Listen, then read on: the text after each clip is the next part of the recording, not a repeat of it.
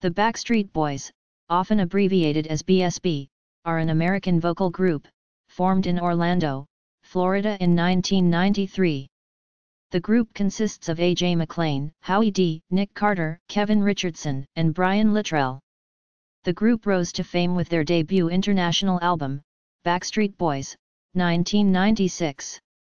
In the following year they released their second international album Backstreet's Back, 1997, and their US debut album which continued the group's success worldwide.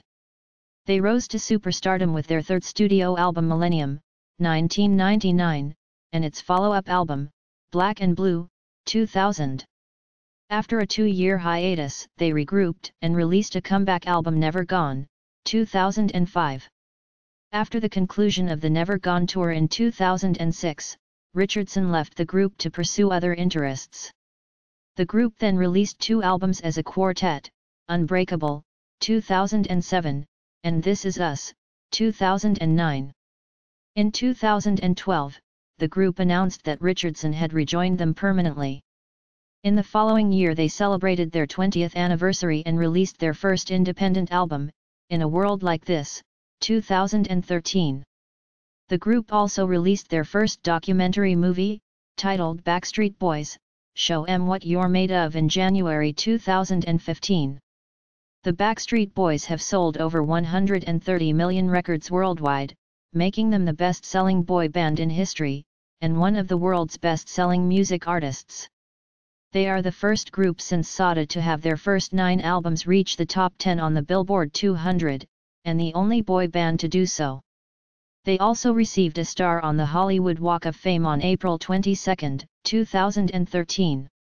History 1990-94, Formation and Early Years Howie Dorough and A.J. McLean were natives of Orlando, Florida, who met each other and later discovered Nick Carter through auditions. The three, realizing that they could harmonize together, decided to form a trio. Cousins Kevin Richardson and Brian Littrell, both from Lexington, Kentucky, sang in local church choirs and festivals when they were children.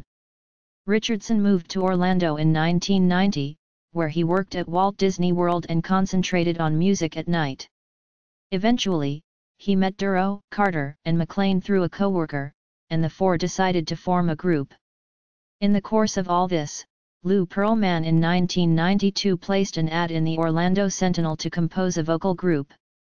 McLean, who was the first to audition for Pearlman in his living room, became the group's first member. In January 1993, Pearlman held an open casting call and hundreds of young performers auditioned at his blimp hangar in Kissimmee. Eventually, Carter, Dorough, and Richardson were selected after meeting Pearlman's expectations.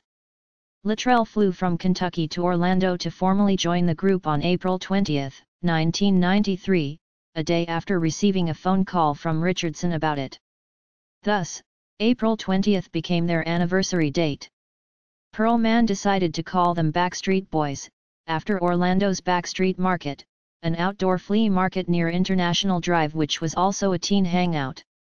The Backstreet Boys had their very first performance at SeaWorld Orlando on May 8, 1993. The group then continued to perform in various venues during summer 1993, from shopping malls, restaurants, to a high-profile charity gala in Fort Lauderdale, Florida. With a change in management in the fall, they began to tour schools across the U.S., including Littrell's former school, Tate's Creek High School, building a fan base while trying to get a record deal. Mercury Records nearly signed them in 1993, but the deal fell through at the last minute because longtime Mercury recording artist John Mellencamp threatened to leave the label if they got in boy band business. However, in February 1994, Jeff Fenster, then Senior VP on Dar Zomba slash Jive Records, and David Renzer, then Senior VP slash GM of Zomba Music Publishing, caught the group performing at a high school in Cleveland, and signed them to their first record deal. 1995-97, debut album, worldwide success, and Backstreet's Back. In June 1995, the group flew to Sweden to record some songs with Max Martin and Denniz Pop, including We've Got It Going On, which ended up being their very first single. We've Got It Going On was sent to radio in August 1995 and released as a physical single on September 5, 1995. In North America, Mix 96 in Montreal broke the group after the programmers heard it on the radio in Europe. The song was a minor success in the US, peaking at only number 69 by December 1995, but it entered the top 5 in Germany, Switzerland, Austria, France, and the Netherlands. European success sent them there on a summer tour and shifted their promotion being mostly done in Europe.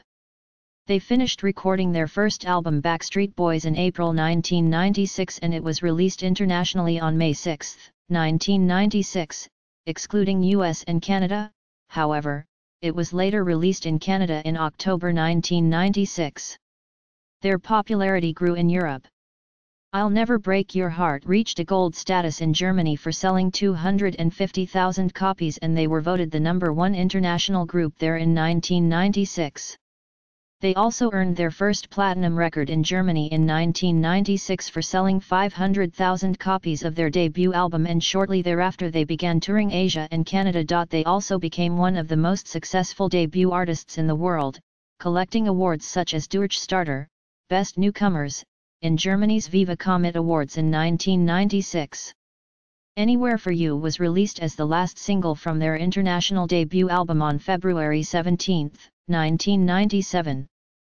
Quit Playing Games, With My Heart, which was originally released in Europe as their fourth single in October 1996, was released in the US in May 1997 for their upcoming US debut album.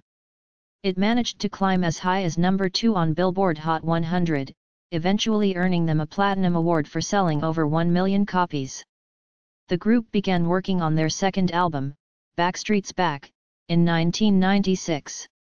They also recorded the song If You Stay for the Booty Call soundtrack in the same year, which was released in February 1997. Backstreet's Back was released internationally, except in the US, on August 11, 1997. Their self-titled US debut album, which consisted of songs from their 1996 international debut album and Backstreet's Back, was released in the US a day later, August 12, 1997. The US self-titled debut peaked at number 4 on the US album chart and eventually sold 14 million copies.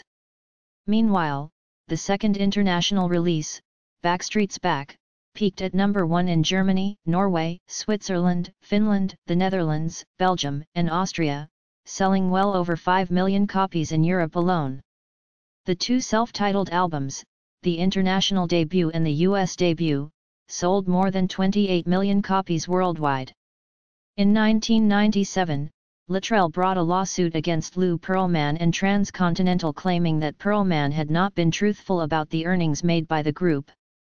From 1993 to 1997, Pearlman and his company took about $10 million in revenue while the band only got $300,000. In the following year, McLean, Richardson, and Dorough joined the lawsuit which eventually resulted in a number of settlements. 1998–99, Millennium and Superstardom. In November 1997, doctors discovered that a congenital hole in Littrell's heart had enlarged to dangerous proportions. Littrell postponed the open heart surgery twice to meet touring obligations, and he finally underwent the surgery on May 8, 1998, in the middle of the Backstreet's Back tour. The group postponed the tour until July 1998 to give Littrell time to recover. On October 7, 1998, the group received the keys to the city from the mayor of Orlando in honor of the tornado relief concert the group headlined in March that raised over $250,000. The day was also declared as Backstreet Boys Day in Orlando. They also began recording their third studio album, Millennium, at the beginning of that month while in the middle of a lawsuit. The worldwide hit single I Want It That Way which topped the single charts in over 25 countries made anticipation for Millennium High Millennium was released on May 18, 1999, on which day the Backstreet Boys made a heavily publicized appearance on MTV's Total Request Live. The album entered the Billboard 200 at number 1, and managed to sell 1,134,000 copies in its first week of release. Four singles were released from Millennium, I Want It That Way, Larger Than Life, Show Me the Meaning of Being Lonely, and The One. Millennium became the best-selling album of 1999 in the US, selling 9,445,732 copies. It also holds the record for most shipments in one year, with 11 million shipment. Millennium remained on the Billboard chart for 93 weeks, eventually selling over 12 million copies in the United States and being certified 13 times platinum. As of January 2013, the album stands as the fourth best-selling album in the US of the SoundScan era. On June 2, 1999, the Backstreet Boys embarked on the Into the Millennium Tour, which comprised 115 sold-out shows in 84 cities, with some additional dates put due to high demand. The second leg, which was sponsored by Sears, was sold out on August 14 on its sale date and broke sales records. The concert at Georgia Dome, Atlanta, was the fifth most attended concert in American history and the most attended concert by a pop artist. By October 1999, the Backstreet Boys faced new problems declaring their current Jive contract null and void, soon striking one of the largest record deals ever valued at $60 million with Jive. 2003, Black and Blue and the Hits Chapter 1 a trip to the Bahamas was made by the group members in May 2000 to write songs for their fourth album. They began recording the album on July 1, 2000 in Stockholm, Sweden, and wrapped up the recording sessions in September.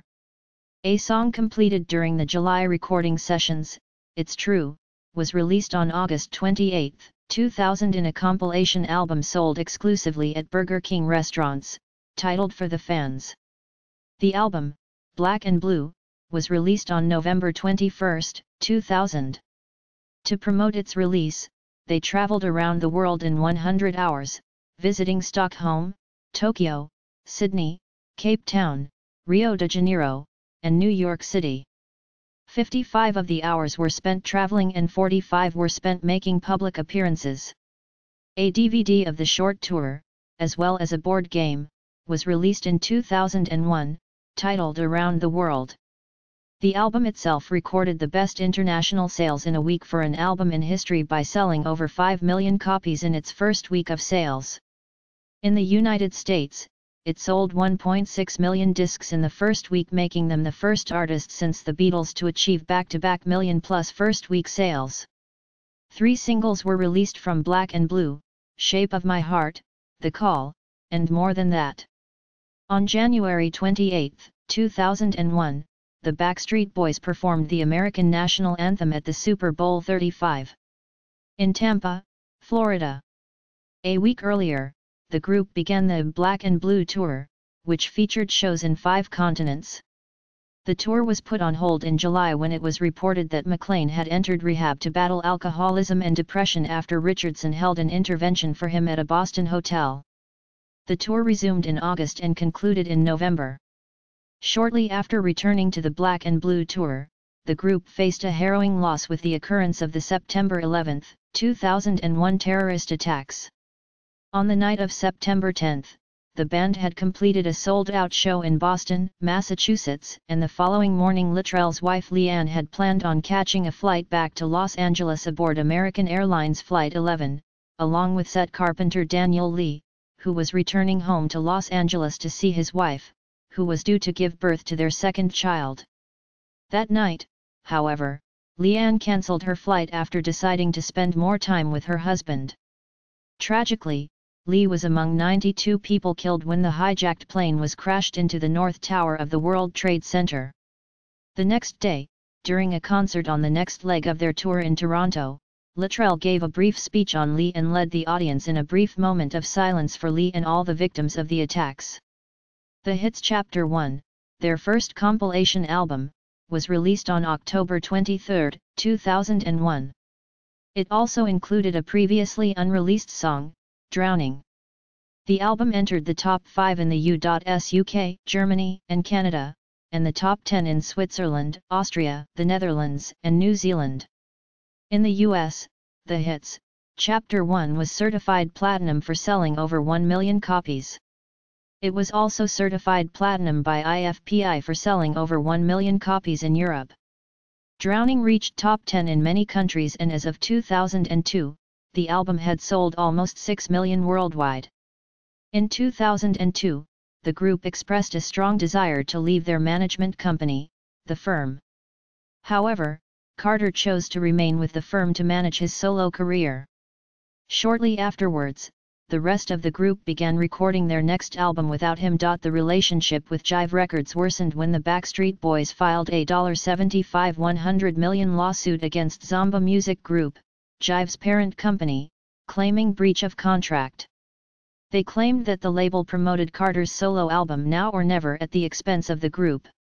In November 2003, McLean appeared on The Oprah Winfrey Show to talk about his addiction to alcohol and drugs, and his struggles rising to fame for the first time in public. The rest of the group surprised him by appearing in person to give him support, marking the first time the Backstreet Boys had appeared together in public in almost two years. The group began to reform and reconcile their differences, planning to start recording a comeback album at the beginning of the following year. 2004-06, Never Gone and Richardson's departure. The Backstreet Boys entered the studios in January 2004 to start recording the new album. They also started performing together to promote their return to the music scene. In September, they kicked off a small Asian tour, visiting Beijing, Shanghai, Tokyo, and Manila, performing some new material. Based on the success of this tour, they announced a Mexican tour, visiting Mexico City and Monterrey. The album's first single, Incomplete, was released to radio stations on March 28, 2005. Following the release of the single, they embarked on their up-close and personal tour in March which served as a pre-album release tour. Incomplete peaked at number 13 on the US Billboard Hot 100, and charted within the top 10 in 13 countries. It debuted at number 1 in Australia, becoming their first number 1 hit in the country. After spending more than a year recording, the Backstreet Boys finally released their comeback album Never Gone on June 14, 2005. The album debuted at number 3 on the US chart with first week sales of 291,000 copies. However, the drastic style change drew negative criticism from Rolling Stone. Never Gone was certified platinum in the US and four singles were released from the album. The second single, Just Want You to Know, hit the top 10 in the UK. The third singles were Crawling Back to You for the US and I Still. For the rest of the world.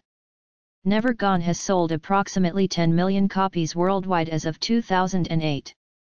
The Backstreet Boys began the first leg of their Never Gone tour on July 22, 2005 in West Palm Beach, Florida. The first leg ran until November 2005 in Europe and in January 2006 the second leg started in Tokyo, Japan.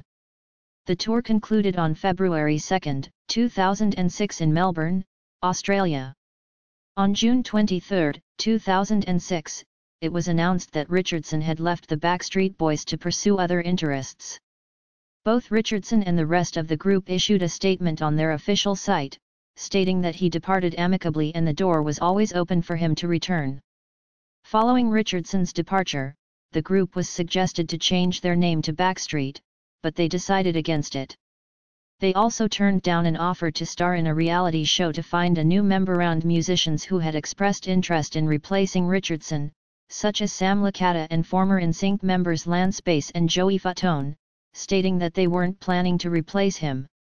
2006-10, Unbreakable and This Is Us Two days after Richardson's departure announcement, the Backstreet Boys entered the studio to record their sixth album. The album, titled Unbreakable, was released on October 30, 2007. It received positive reviews, and opened at number 7 on the Billboard 200, selling 81,000 copies in its first week of release. It performed well in Japan, debuting at number 1 on the Japanese Oricon weekly album charts and staying there for another week.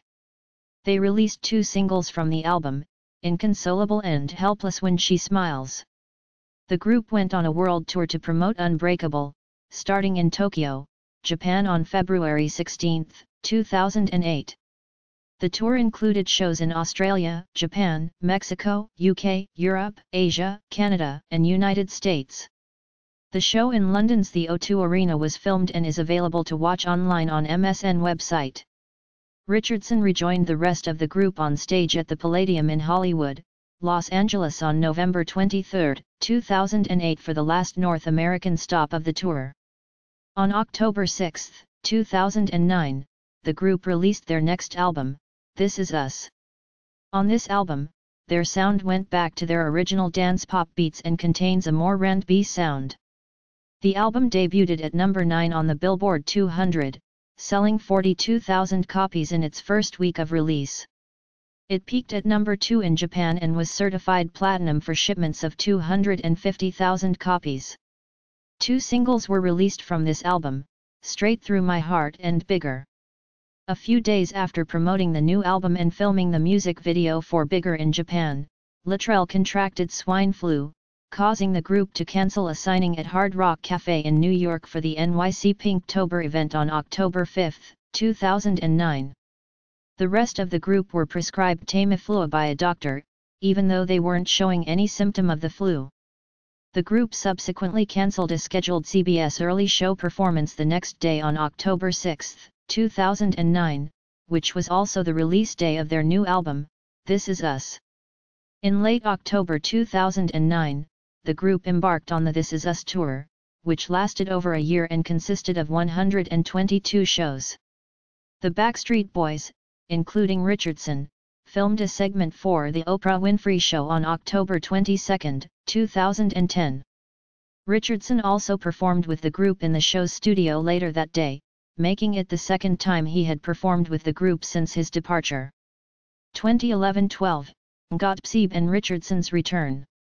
In May 2011, the group announced that they had left their longtime label Jive Records. In the same month, they embarked on a joint tour with New Kids on the Block as Gottlieb.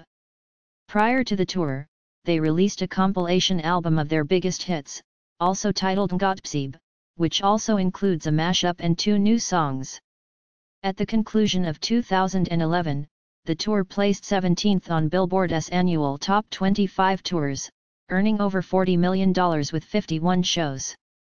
The tour lasted until June 2012, comprising 80 shows in North America, Europe, Australia, and Asia. During the show in Staples Center, LA, in July 2011, Richardson once again joined the group on stage. As he had announced before on On Air with Ryan Seacrest in October 2011, Richardson hosted a beach party, part of the group's second annual cruise, in the Bahamas on December 3, 2011, where he performed with them. On Seacrest's radio show, he also stated that he would love to perform with the group again on a more regular basis. The statement, along with his appearance at the cruise event, prompted speculations that he might rejoin the group for good, but both he and the group remained quiet on the matter. The Backstreet Boys finally announced that Richardson had rejoined them permanently during a show in London on April 29, 2012. A few days later, McLean and Littrell revealed on separate occasions that Richardson had returned since 2010, before Gottlieb tour started. He had been in talks to join the tour but ultimately decided not to. They supported his decision and kept his return a secret until the tour was over. The group spoke positively about Richardson's return, stating that they couldn't be happier to have him back. Richardson himself was thrilled to be back with his old bandmates, saying that they have a chemistry and a bond. The Backstreet Boys moved into a house together all by themselves in July 2012 as they started working on their new album with producer Martin Terefe in London. On August 31, 2012, they closed out Good Morning America's summer concert series in Central Park, in New York. It was their first performance as a fivesome since Richardson rejoined the group. During the show, they announced that they were going to have their third cruise in October 2013. It will be the first cruise to feature all five members. The first single featuring Richardson's vocals in six years, a Christmas song titled It's Christmas Time Again, was premiered on AOL Music on November 5, 2012, and officially released a day later. The song reached number 1 on Billboard's Holiday Digital Songs chart. 2013-15, 20th anniversary, In a World Like This, and documentary film. The Backstreet Boys celebrated their 20th anniversary, which was on April 20, 2013, with a fan celebration event in Hollywood that day. They received a star on the Hollywood Walk of Fame two days later, and had the day, April 22, 2013, declared as Backstreet Boys Day in Hollywood. In May 2013, the group embarked on their 20th anniversary tour, officially titled as In a World Like This Tour. The tour lasted over two years, comprising over 170 shows in North America, South America, Europe, Asia, Australasia, and Middle East. The tour was the 44th highest grossing worldwide tour in 2014 with total gross of $32.8 million and ticket sales of 607,407, not including its 2013 and 2015 dates. In a world like this, the lead single from their eighth studio album, also titled In a World Like This, was released digitally on June 25, 2013 and to the radio on July 22, 2013. The album itself was released in the US on July 30, 2013 and in other countries sometime later. It was the group's first independent album, released under their own label, K-BAHN. It reached the top 5 in the US, Canada, Netherlands, Germany, Switzerland, Spain, Taiwan, and Japan and had sold 800,000 copies as of January 2015. They released a second single from the album, Show 'em, What You're Made Of, in November 2013. The group made a cameo in the 2013 movie This Is the End as fictional version of themselves, performing their song Everybody, Backstreet's Back which earned them an award for Best Musical Moment at 2014 MTV Movie Awards.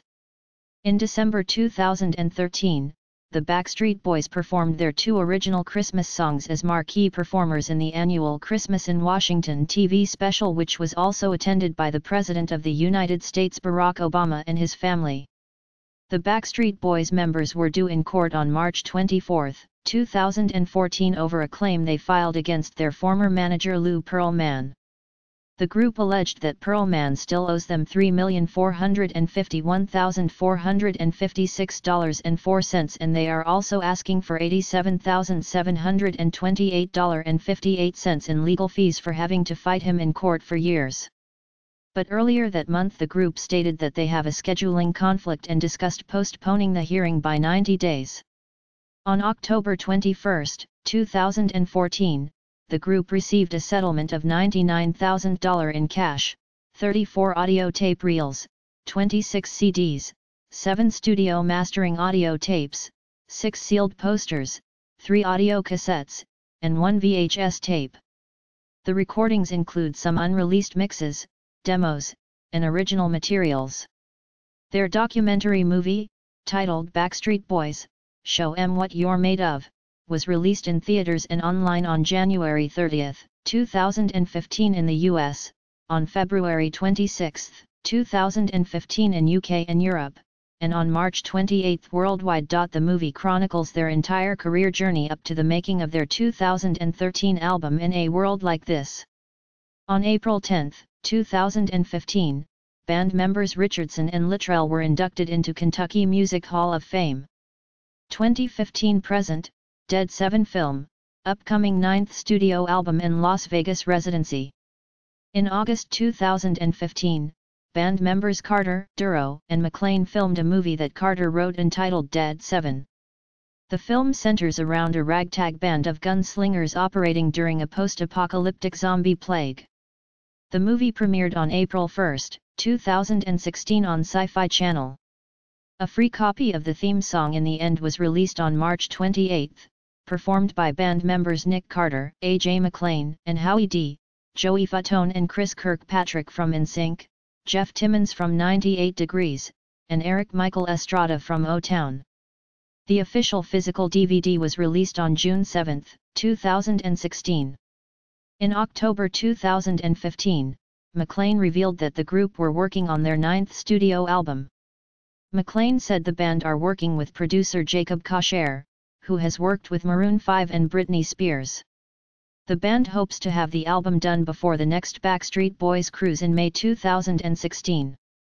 On January 29, 2016, the Backstreet Boys were the musical guests on the NBC comedy Undateable. Following that, Carter and McLean supported Gigi Hadid on Lip Sync Battle. On April 1, 2016, Carter told Entertainment Tonight the group signed a deal with Live Nation for a nine-show test residency in Las Vegas. McLean confirmed the deal, telling Us magazine that the residency would begin in January 2017. In July 2016, the group appeared and performed on ABC's Greatest Hits. On August 19, 2016, the group released God, Your Mama, and Me, with country duo Florida Georgia Line, which was taken from their third studio album Dig Your Roots. This song debuted at number 31 on the Billboard Digital Songs chart. On September 15, 2016, McLean and Carter officially confirmed that the band will be done with the album the following year, along with a new headlining tour. On September 23, the Backstreet Boys confirmed their Vegas residency show happening in 2017, titled Backstreet Boys, Larger Than Life. Artistry The Backstreet Boys have always prided themselves as a vocal harmony group and not a boy band. In order to fight the boy band stereotype and the backlash from New Kids on the Block's lip sync scandal in the beginning, they sing a cappella every chance they get. The ad they answered in 1993 was for a singing group with New Kids on the Block look with a Boyz II Men sound, and they aimed to have a white version of Boyz II Men. We were fans of New Kids, but were we really modeled after them? No. We looked at ourselves as Shai, Jodeci, Boyz II Men, the true vocal groups. That's who we listened to and who we really wanted to be like, Littrell stated in 2011. The Backstreet Boys often employ polyphonic harmony, which sets them apart from many other singing groups. In choruses, Littrell, Carter, and McLean usually sing the melody with Dorough harmonizing above the melody and Richardson covering the bass parts. During Richardson's absence, McLean and Carter together covered his part in choruses while Dorough took his solo parts, although McLean sang Richardson's verse in Drowning. The Backstreet Boys' musical style has evolved over the years. On their debut and second album, they sang a hybrid of R&B and dance club pop mixed with new jack balladry and hip-hop. With Millennium and Black and Blue, they started to abandon R&B and shift more toward pop and pop rock, as demonstrated on songs like I Want It That Way, Shape of My Heart, Larger Than Life, and Not For Me. The group drastically changed their style in 2005 with their comeback album Never Gone, which is an adult contemporary record featuring only live instruments, a departure from their previous pop sound that features a lot of synthesizers. Compared to their previous albums, Never Gone is more organic, more stripped down, less harmonies, more instrumentation. Their first album without Richardson, Unbreakable, is similar to Never Gone. It leans toward adult contemporary and contemporary pop music and features interwoven choral harmonies, piano, strings, guitar, and drums, with a little bit of hip-hop and reggae elements on some tracks, such as One in a Million. With their seventh studio album, This Is Us, they went back to their original dance pop beats combined with electropop. It also contains a more R&B sound compared to Unbreakable. The group's first independent album, In a World Like This, which is also their first album back with Richardson, is a mixture of modern pop, adult contemporary, and dance music with a hint of singer-slash-songwriter genre as demonstrated on Try, Madeleine, and Trust Me. Partnerships and other ventures. The second leg of Into the Millennium Tour, which was also the first North American leg, was sponsored by Sears and was officially titled Sears Presents Backstreet Boys Into the Millennium. The sponsorship was a part of Sears' new integrated marketing campaign that exclusively featured the Backstreet Boys. The campaign included a 30-second advertisement, featuring the group, which was aired from August 1 15, 1999.